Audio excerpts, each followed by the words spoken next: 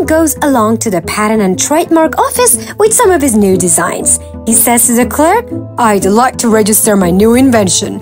It's a folding bottle. Okay, says the clerk. What do you call it? A bottle? replies the inventor. A bottle? That's stupid! Can't you think of something else?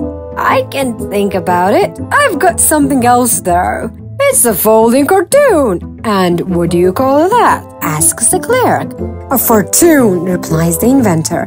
That's obscene. You can't possibly call it that. In that case, says the inventor, you're really going to hate the name of my folding bucket.